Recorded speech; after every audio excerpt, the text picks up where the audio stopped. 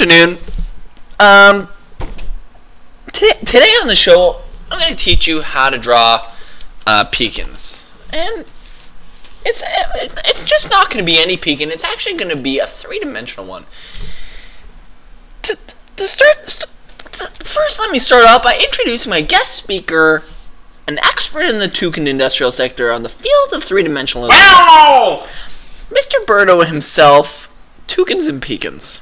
Now, and pecans, what is your technique on adding another another level and, and layer on the width and girth department?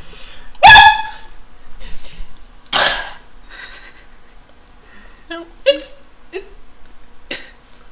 it's it's about the coloring. like my daddy used to say, if if there's no grass in the field, there in the mud. And well, by mud, well,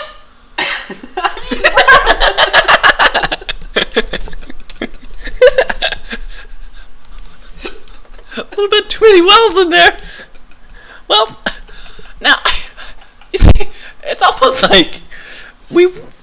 It's very simple. It's almost like we went through this without any plans or direction of any sort, and if, and uh, like it's almost like we were drunk.